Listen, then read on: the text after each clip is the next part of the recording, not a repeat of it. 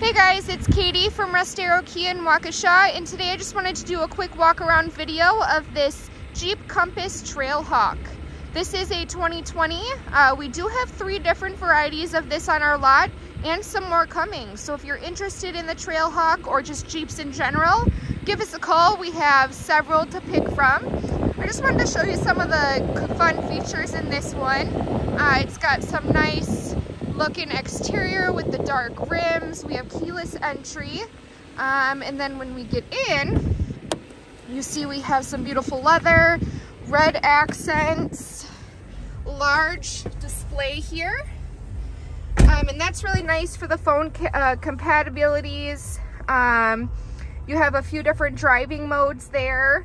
Um, and it's got about 50,000 miles on it. So this is in really good condition, taken really well care of, kept really clean.